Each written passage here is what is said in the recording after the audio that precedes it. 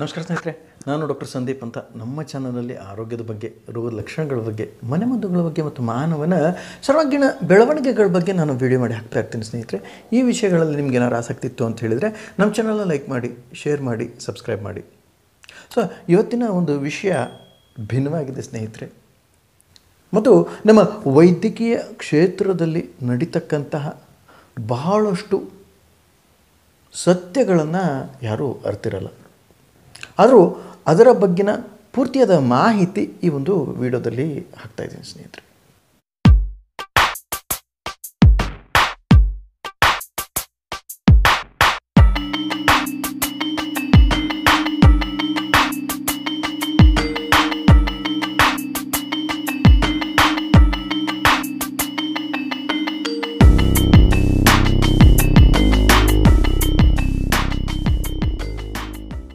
ನಮ್ಮ ದೇಶದಲ್ಲಿ ಇರ್ತಕ್ಕಂಥ ಜನಸಂಖ್ಯೆಗೆ ವೈದ್ಯರು ಎಷ್ಟಿದ್ದಾರೆ? ಈಗ ನಮ್ಮ ಹೋಮಿಯೋಪತಿ ವೈದ್ಯರ ಒಂದು ತಂಡ ನಾವು ತೊಗೊಂಡ್ವಿ ಅಂತ ಹೇಳಿದರೆ ಒಂದು ಐದು ಲಕ್ಷದಿಂದ ಆರು ಲಕ್ಷ ಜನ ನಮ್ಮ ಹೋಮಿಯೋ ಹೋಮಿಯೋಪತಿ ವೈದ್ಯರು ಇದ್ದಾರೆ. ಮತ್ತು ಆಯುರ್ವೇದವ್ರು ಅಷ್ಟೇ ಇದ್ದಾರೆ. ಆರು ಲಕ್ಷ ಅಂತ ಇಟ್ಕೊಳ್ಳಿ. ಐದು ಐದು, ಹತ್ತು ಹತ್ತು. ಮತ್ತು English medicines, allopathy M B B S ಆಗಿರ್ತಕ್ಕಂಥ ವೈದ್ಯರು ಹತ್ತರಿಂದ ಹದಿನೈದು ಲಕ್ಷ ಜನ ಇದ್ದಾರೆ. ಸೊ ಎಲ್ಲವೂ ನಾವು ಕಲೆ ಹಾಕಿದ್ವಿ ಅಂತ ಹೇಳಿದ್ರು ಸಹಿತ ಇಪ್ಪತ್ತೈದರಿಂದ ಮೂವತ್ತು ಲಕ್ಷ ವೈದ್ಯರು ನಮ್ಮ ದೇಶದಲ್ಲಿ ಇದ್ದಾರೆ. ಆದರೆ ಇದರ ಒಂದು ಸಮತೋಲನ ನಮ್ಮ ದೇಶದ ಒಂದು ಜನಸಂಖ್ಯೆಗೆ ಬಹಳಷ್ಟು ಅಸಮವಾಗಿದೆ ಅಂತ ಎಲ್ಲರಿಗೂ ತಿಳಿದೇ ಇದೆ.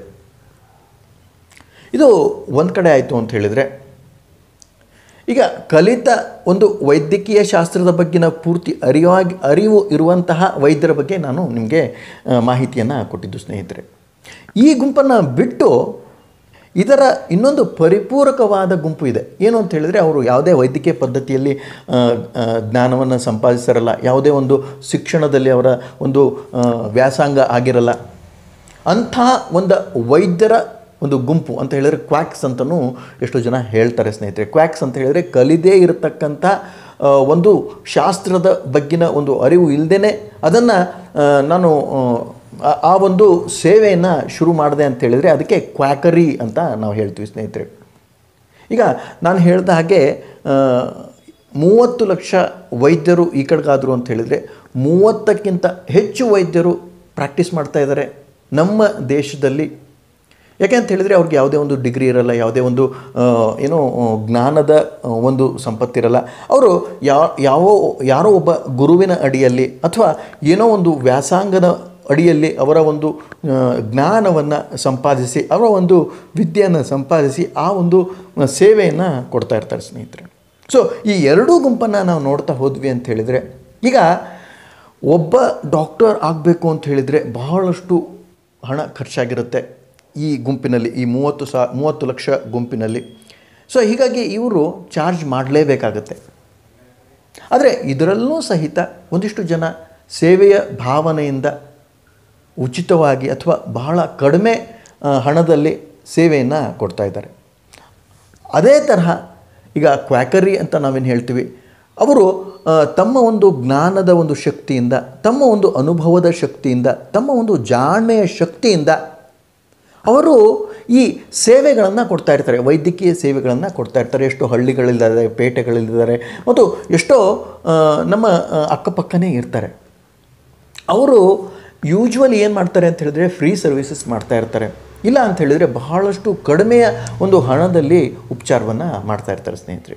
ಇದು ಎರಡು ತರಹದ ಗುಂಪಾಯಿತು ಅಂತ ಹೇಳಿದರೆ, ನಾವು ಮೂಲಕ್ಕೆ ಹೋಗಿ ವೈದ್ಯಕೀಯ ಶಾಸ್ತ್ರದ ಅರಿವಿನ ಒಂದು ಮೂಲಕ್ಕೆ ನಾವೇನಾದ್ರು ಹೋದ್ವಿ ಅಂತ ಹೇಳಿದರೆ, ಈಗ ಕಲಿತ ಒಂದು ಗುಂಪನ್ನು ನೀವು ಇಟ್ಕೊಳ್ಳಿ ಮತ್ತು ಕಲಿಯದ ಒಂದು ಗುಂಪನ್ನು ಇಟ್ಕೊಳ್ಳಿ. ಇದು ಎರಡನ್ನೂ ಮಿಕ್ಸ್ ಎರಡರ ಒಂದು ಪೂರ್ತಿಯಾದ ಒಂದು ಸೇವೆ ನಮ್ಮ ದೇಶದಲ್ಲಿ ಸಿಗ್ತಾ ಇದೆ ಅಂತಂದ್ರೂ ಸಹಿತ ಎಷ್ಟೋ ಕಡೆ ಈ ಸೇವೆಗಳು ಇರದೇ ಇರತಕ್ಕಂಥ ಸ್ಥಾನ, ಸ್ಥಾನಗಳು ಇದೆ ಅಂತ ನನಗೆ ತಿಳಿಸ್ತಾ ಇದ್ದೀನಿ ಸ್ನೇಹಿತರೆ. ಸೊ ಇದು ಒಂದು ಕಡೆ ಆಯಿತು ಅಂತ ಹೇಳಿದರೆ, ಇನ್ನೂ ಒಂದು ಬಹಳ ಮುಖ್ಯವಾಗಿ ಗಮನಿಸಬೇಕಾದಂತಹ ಒಂದು ಪ್ರಶ್ನೆ ಅಥವಾ ಒಂದು ವಿಷಯ ಅಂತ ಹೇಳಿದರೆ, ಈಗ ರೋಗಗಳು ಒಂದು ಪದರಿನ ರೂಪದಲ್ಲಿ ಮಾನವನಲ್ಲಿ ಬೆಳೀತಾ ಹೋಗ್ತಾ ಇರುತ್ತೆ. ಅದಕ್ಕೆ ಡಿಸೀಸ್ ಸಪ್ರೆಷನ್ ಅಂತಲೂ ನಾವು ಹೇಳ್ತೀವಿ ಸ್ನೇಹಿತರೆ.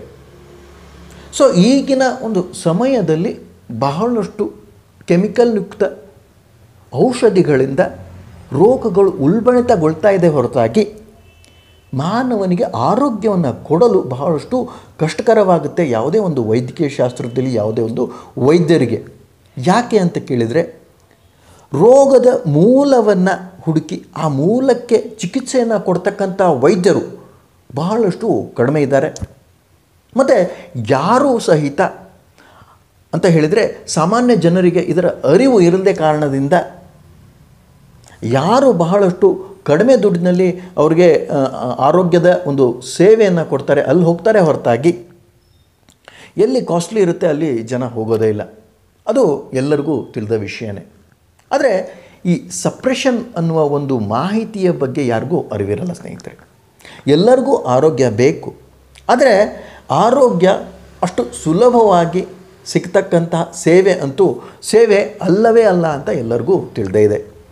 ನೀವು ಸರ್ಕಾರಿ ಆಸ್ಪತ್ರೆಗಳಿಗೆ ಹೋದ್ರಿ ಅಂತ ಹೇಳಿದರೆ ಅಲ್ಲಿ ನೂಕು ನುಗ್ಗಲು, ಅಲ್ಲಿ ಬಹಳಷ್ಟು ಜನಸಮೂಹ ಇರುವ ಕಾರಣದಿಂದ ವೈದ್ಯರು ಪ್ರತಿಯೊಬ್ಬ ರೋಗಿಗೆ ಬಹಳಷ್ಟು ಗಮನ ಕೊಡಲು ಆಗುವುದಿಲ್ಲ. ಅದು ಎಲ್ಲರಿಗೂ ತಿಳಿದ ವಿಷಯ. ಸೊ ಹೀಗಾಗಿ ಅಲ್ಲಿ ಏನಾಗ್ತಾ ಇರುತ್ತೆ ಅಂತ ಹೇಳಿದರೆ, ಅಲ್ಲಿ ಜನಸಮೂಹದ ಒಂದು ಒಂದು ಜನಸಮೂಹದ ಒಂದು ತೊಂದರೆಯಿಂದ ವೈದ್ಯರು ತಮಗೆ ಎಷ್ಟು ಆಗುತ್ತೆ ಅಷ್ಟು ಸೇವೆಗಳನ್ನು ಕೊಡ್ತಾ ಇರ್ತಾರೆ ಸ್ನೇಹಿತರೆ.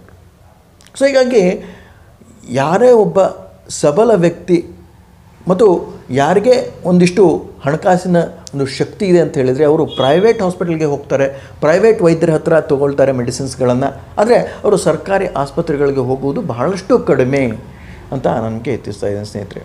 ಸೊ ಹೀಗಾಗಿ ಒಂದು ನಮ್ಮ ಹಳೆಯ ಒಂದು ಗಟ್ಟಿಯಾದ ನಿಲುವುಗಳನ್ನು ಹಿಡ್ಕೊಂಡು ಇನ್ನೂವರೆಗೂ ನಾವು ಸಾಕ್ತಾ ಇದ್ದೀವಿ. ಅದನ್ನು ನಾನು ಹೇಳಿದೆ.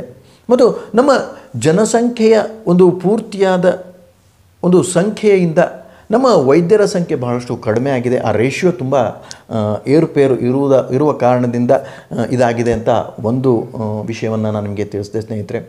ಇನ್ನೂ ಒಂದು ವಿಷಯ ಅಂತ ಹೇಳಿದರೆ, ಯಾರು ಯಾವುದೇ ಒಂದು ವೈದ್ಯರು ಸಹಿತ ಈ ರೋಗಗಳನ್ನು ಸರಿಯಾಗಿ ಬೇರುಗಳಿಗೆ ಔಷಧಿಗಳನ್ನು ಕೊಟ್ಟು ರೋಗಗ್ರಸ್ತ ಸ್ಥಿತಿಯಿಂದ ಹೊರಗೆ ಬರುವಂಥ ಸಾಧ್ಯತೆಗಳನ್ನು ತಿಳಿಸಿಕೊಡುವುದು ಬಹಳಷ್ಟು ಕಡಿಮೆ ಅಂತ ನನಗೆ ಎತ್ತಿಸ್ತಾ ಇದ್ದೀನಿ ಸ್ನೇಹಿತರೆ. ಇನ್ನೂ ಒಂದು ಬಹಳ ಮುಖ್ಯವಾದ ಎಲ್ಲರೂ ಗಮನಿಸಬೇಕಾದಂಥ ಒಂದು ವಿಷಯ ಅಂತ ಹೇಳಿದರೆ, ನೀವು ಯಾವುದೇ ಒಂದು ಕೆಲಸದಲ್ಲಿ ಇರಿ, ಈ ಆರೋಗ್ಯದ ಬಗ್ಗೆ, ಆಹಾರದ ಬಗ್ಗೆ, ವಿದ್ಯೆಯ ಬಗ್ಗೆ ಮತ್ತು ನ್ಯಾಯದ ಬಗ್ಗೆ ಪೂರ್ತಿಯಾದ ಅರಿವು ನಮ್ಮ ಜನಸಾಮಾನ್ಯರಲ್ಲಿ ಎಲ್ಲಿ ತನಕ ಬರಲ್ಲ, ಅಲ್ಲಿ ತನಕ ಈ ಒಂದು ಸಮಸ್ಯೆ ಇದ್ದೇ ಇರುತ್ತೆ ಅಂತ ನನಗೆ ತಿಳಿಸ್ತಾ ಇದ್ದೀನಿ ಸ್ನೇಹಿತರೆ. ಯಾಕೆ ಅಂತ ಹೇಳಿದರೆ ಈಗ ನನಗೆ ಈ ವೈದ್ಯಕೀಯ ಬಗ್ಗೆ, ವೈದ್ಯಕೀಯ ಕ್ಷೇತ್ರದ ಬಗ್ಗೆ ಪೂರ್ತಿಯಾದ ಮಾಹಿತಿ ಇದೆ ಅಂತ ನಾನು ಅಂದ್ಕೊಂಡಿದ್ದರೂ ಸಹಿತ ನನಗೆ ತಿಳಿಯದ ಒಂದಿಷ್ಟು ವಿಷಯಗಳು ಯಾವಾಗಲೂ ಇದ್ದೇ ಇರುತ್ತೆ. ಆದರೂ ನಮ್ಮ ಕಣ್ಣಿಗೆ ಕಾಣ್ತಕ್ಕಂತಹ ನಮ್ಮ ಹತ್ತಿರದಲ್ಲಿ, ಆಸ್ಪಾಸ್ನಲ್ಲಿ ಆಗ್ತಕ್ಕಂಥ ಚಟುವಟಿಕೆಗಳನ್ನು ಸರಿಯಾಗಿ ಗಮನಿಸಿ, ಅದನ್ನು ಸರಿಯಾಗಿ ಗ್ರಹಿಸಿ, ಅದರ ಒಂದು ಮಾಹಿತಿಯನ್ನು ನಮ್ಮ ಸಮಾಜದಲ್ಲಿ, ನಮ್ಮ ಪರಿವಾರದಲ್ಲಿ, ನಮ್ಮ ದೇಶದಲ್ಲಿ ಅದನ್ನು ಪ್ರಚಾರ ಮಾಡ್ತಾ ಹೋದ್ವಿ ಅಂತ ಹೇಳಿದರೆ ನಮ್ಮ ಸೇವೆಗಳು ಉತ್ತಮವಾಗುತ್ತೆ. ನಾವು ಮತ್ತೆ ಜ್ಞಾನ ಸಂಪತ್ತನ್ನು, ವಿದ್ಯಾ ಸಂಪತ್ತನ್ನು ಹೊಂದಿ ನಮ್ಮ ದೇಶ ಮತ್ತು ಸಮೃದ್ಧಶಾಲಿ ಆಗಲಿಕ್ಕೆ ಸಾಧ್ಯವಿದೆ ಅಂತ ನನಗೆ ತಿಳಿಸ್ತಾ ಇದ್ದೀನಿ ಸ್ನೇಹಿತರೆ. ಸೊ ಹೀಗಾಗಿ ಈ ಹತ್ತು ರೂಪಾಯಿ ಡಾಕ್ಟ್ರು ಮತ್ತು ಫ್ರೀ ಡಾಕ್ಟರ್ಸ್ ಏನು ಮಾಡ್ತಕ್ಕಂಥ ಸೇವೆಯನ್ನು ತಗೊಳ್ಬೇಡಿ ಅಂತ ನಾನು ಹೇಳ್ತಿಲ್ಲ. ಆದರೆ ಅದರ ಒಂದು ಮಾಹಿತಿ ನಿಮಗೆ ಇರಲಿ ಅಂತ ನನಗೆ ಈ ಒಂದು ವಿಷಯವನ್ನು ತಿಳಿಸ್ತಾ ಇದ್ದೀನಿ ಸ್ನೇಹಿತರೆ. ಸೊ ಹೀಗಾಗಿ ಈ ರೋಗದ ಉಲ್ಬಣತೆ, ಈ ಲೇಯರ್ ವೈಸ್ ಏನಿರುತ್ತಲ್ಲ ರೋಗಗಳು, ಅದರ ಒಂದು ಮಾಹಿತಿ ಯಾವುದೇ ಒಂದು ಸಾಮಾನ್ಯ ಜನರಿಗೆ ಗೊತ್ತಿರಲ್ಲ. ಅದರ ಬಗ್ಗಿನ ಪೂರ್ತಿಯಾದ ಮಾಹಿತಿ ನಾನು ಒಂದಿಷ್ಟು ವೀಡಿಯೋಗಳನ್ನ ಮಾಡಿ ನನ್ನ ಚಾನಲಲ್ಲಿ ಹಾಕಿದ್ದೀನಿ ಸ್ನೇಹಿತರೆ. ಅದರ ಬಗ್ಗಿನ ಆಸಕ್ತಿ ನಿಮ್ಗೇನಾರು ಇತ್ತು ಅಂತ ಹೇಳಿದರೆ ದಯವಿಟ್ಟು ಆ ವಿಡಿಯೋಗಳನ್ನು ನೋಡಿ. ಏಕೆಂದರೆ ರೋಗಗಳು ಬಹಳ ಬಹಳಷ್ಟು ಸಿಸ್ಟಮೆಟಿಕ್ ಆಗಿ ಅಂತ ಹೇಳಿದರೆ ಅದರ ಒಂದು ಪಯಣ ನಮ್ಮ ದೇಹದಲ್ಲಿ ಒಂದು ಅಂಗದಿಂದ ಇನ್ನೊಂದು ಅಂಗಕ್ಕೆ ಹೇಗೆ ಹೋಗುತ್ತೆ ಅನ್ನುವ ಅರಿವು ನಿಮ್ಗೇನಾದ್ರು ಇತ್ತು ಅಂತ ಹೇಳಿದರೆ ನೀವು ಈ ರೋಗದ ಒಂದು ಶಕ್ತಿಗಳಿಂದ ಹೊರಗೆ ಬರ್ಬೋದು, ಆರೋಗ್ಯವಂತ ಸ್ಥಿತಿಯನ್ನು ನೀವು ತಲುಪಬಹುದು ಅಂತ ನಮಗೆ ಎತ್ತಿಸ್ತಾ ಇದ್ದೀನಿ ಸ್ನೇಹಿತರೆ. ಸೊ ಇದಿಷ್ಟು ಮಾಹಿತಿ ಹತ್ತು ರೂಪಾಯಿ ಡಾಕ್ಟರ್ ಅಥವಾ ಫ್ರೀ ಡಾಕ್ಟರ್ನ ಬಗ್ಗೆನ ಒಂದು ಪೂರ್ತಿಯಾದ ಒಂದು ಮಾಹಿತಿ. ಇದರ ಪೂರ್ವಾಪರವನ್ನು ಯೋಚಿಸಿ ನಾನು ಈ ಒಂದು ವಿಡಿಯೋನ ಮಾಡಿದ್ದೀನಿ ಸ್ನೇಹಿತರೆ. ದಯವಿಟ್ಟು ಈ ವಿಡಿಯೋನ ಎಲ್ಲರಿಗೂ ಕಳಿಸಿ. ಯಾಕೆಂತ ಹೇಳಿದರೆ, ನಮಗೆ ಇರತಕ್ಕಂಥ ವೈದ್ಯಕೀಯ ಕ್ಷೇತ್ರದ ಜ್ಞಾನ ಬಹಳಷ್ಟು ಕಡಿಮೆ. ಮತ್ತು ಮಾನವನ ಶರೀರದಲ್ಲಿರ್ತಕ್ಕಂಥ ರೋಗಗಳ ಒಂದು ಸಮಸ್ಯೆಗಳ ಒಂದು ಅರಿವು ಬಹಳಷ್ಟು ಕಡಿಮೆ. ಸೊ ಇದೇ ಒಂದು ಕಾರಣದಿಂದ ನಮ್ಮ ಒಂದು ದಿನಚರಿ ಆಯಿತು, ನಮ್ಮ ಒಂದು ಆರೋಗ್ಯದ ಸ್ಥಿತಿ ಆಯಿತು, ಬಹಳಷ್ಟು ಹದಗೆಡ್ತಾ ಹೋಗ್ತಾ ಇದೆ. ಸೊ ಹೀಗಾಗಿ ಈ ಒಂದು ಮಾಹಿತಿಗಳು ಜಾಸ್ತಿ ಜನಕ್ಕೆ ತಲುಪದಷ್ಟು ಸಹಿತ ಅವರು ಜಾಗರೂಕರಾಗಿ ತಮ್ಮ ಆಹಾರ, ಪಾನೀಯ ದಿನಚರಿಯನ್ನು ಸರಿಗೊಳಿಸಿಕೊಂಡಷ್ಟು ಆರೋಗ್ಯವನ್ನು ಸಹ, ಆರೋಗ್ಯವನ್ನು ಹೊಂದಬಹುದು ಅಂತ ನಾನು ನಿಮಗೆ ಇದ್ದೀನಿ ಸ್ನೇಹಿತರೆ. ಸೊ ಇದಿಷ್ಟು ಮಾಹಿತಿ ಈ ಒಂದು ವಿಡಿಯೋದಲ್ಲಿ ಹಾಕಿದ್ದೀನಿ ಸ್ನೇಹಿತರೆ. ಈ ವಿಡಿಯೋ ನಿಮ್ಗೆ ಏನಾದ್ರು ಲೈಕ್ ಆಯಿತು ಅಂತ ಹೇಳಿದರೆ ನಮ್ಮ ಚಾನಲ್ನ ಲೈಕ್ ಮಾಡಿ ಶೇರ್ ಮಾಡಿ ಸಬ್ಸ್ಕ್ರೈಬ್ ಮಾಡಿ ಅಂತ ಹೇಳ್ತಾ. ಈ ಎರಡು ಮಾತುಗಳನ್ನ ಮುಗಿಸ್ತೀನಿ ಸ್ನೇಹಿತರೆ. ನಮಸ್ಕಾರ, ಧನ್ಯವಾದಗಳು.